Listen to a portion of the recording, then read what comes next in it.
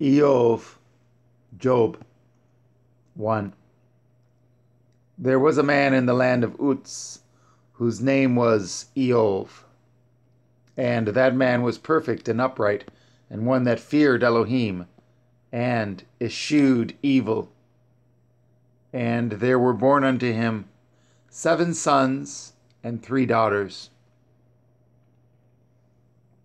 His substance also was seven thousand sheep and three thousand camels, and five hundred yoke of oxen, and five hundred she asses, and a very great household. So that this man was the greatest of all the men of the east. And his sons went and feasted in their houses, every one his day, and sent and called for their three sisters to eat and to drink with them. And it was so, when the days of their feasting were gone about, that Iyov sent and sanctified them, and rose up early in the morning, and offered burnt offerings, according to the number of them all. For Iyov said, It may be that my sons have sinned and cursed Elohim in their hearts. Thus did Iyov continually.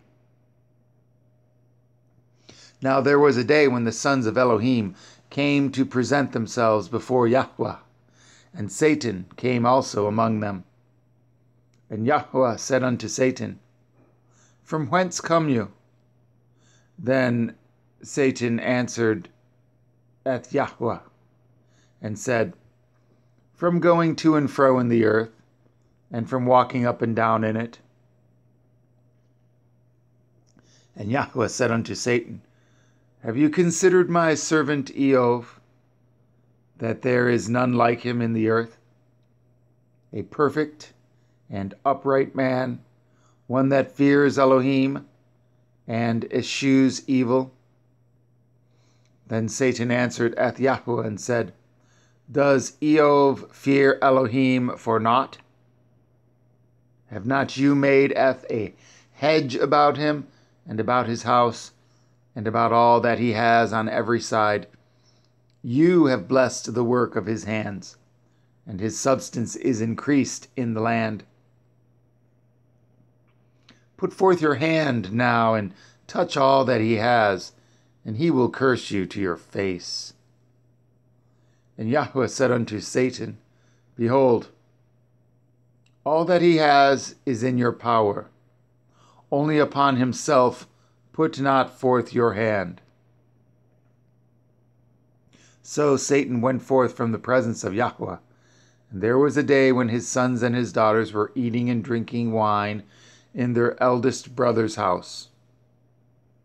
And there came a messenger unto Iyov and said, the oxen were plowing, and the asses feeding beside them, and the Shavaim fell upon them and took them away. Yea, they have slain Eth the servants with the edge of the sword. And I am only escaped alone to tell you.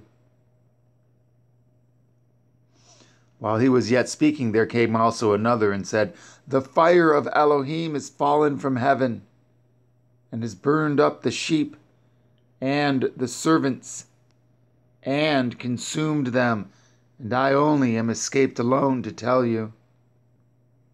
While he was yet speaking, there came also another and said, The Kasdim made out three bands, and fell upon the camels, and carried them away, yea, and slain Eth the servants with the edge of the sword. And I only am escaped alone to tell you.